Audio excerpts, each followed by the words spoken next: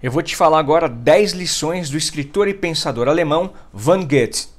Quando uma criatura humana desperta para um grande sonho e sobre ele lança toda a força da sua alma, todo o universo conspira a seu favor. Na plenitude da felicidade, cada dia é uma vida inteira. A alegria não está nas coisas, a alegria está em nós. Quem tem bastante no seu interior, pouco precisa de fora. Quando o homem ama a mulher, fala muito com ela e sobre ela. Quando deixa de amá-la, fala com ela sobre ele. É melhor estar triste com amor do que alegre sem ele.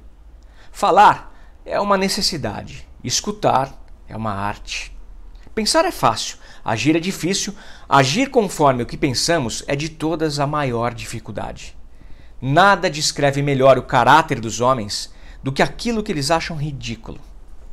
Eu creio que de todas essas que eu falei, a que eu vou falar agora, com certeza você já ouviu.